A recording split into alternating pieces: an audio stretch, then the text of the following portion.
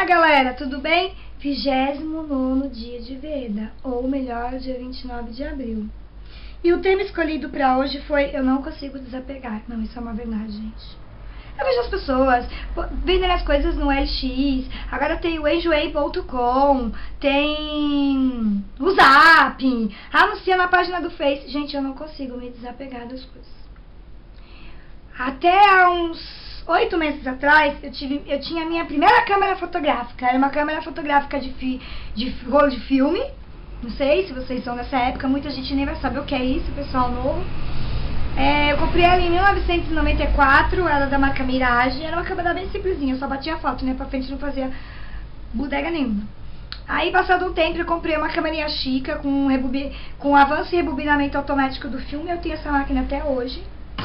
Ah, e ela era moderna, porque ela tinha disparo de flash automático. Gente, as máquinas fotográficas de hoje só faltam falar. Essa mesmo que eu uso para falar com vocês é uma Sony Sabe Shot.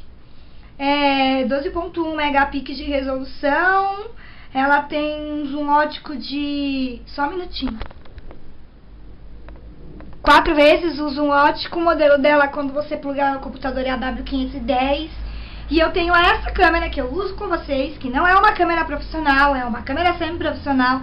Eu tenho essa câmera desde 2009, mais ou menos. E eu gravo com ela, eu amo ela, eu tenho um amor por ela, um carinho por ela, eu tenho um apego por ela. Se ela quebrar, eu tô ferrada. Mas fora isso, eu tenho roupas, eu tenho brinquedos, eu tenho coisas. Eu queria muito desapegar, gente. Queria mesmo desapegar. Mas eu juro que eu vou aprender a desapegar, porque eu vou desapegar desse negócio de Veda. Porque eu não aguento mais gravar vídeo pra esse negócio. Maldita hora que eu aceitei o desafio do YouTube. Mas, bora lá. Se você tem um objetivo na vida, se você quer ser reconhecida, se você quer ter um canal no YouTube, você tem que trabalhar pra isso. E eu tô fazendo isso desde outubro do ano passado. Então, quem gostou do vídeo, clica no joinha pra mim, assiste o vídeo até o final e não percam amanhã. Amanhã é o último dia de vida. Eu vou ver o que eu preparo pra vocês de diferente. Beijo, galera!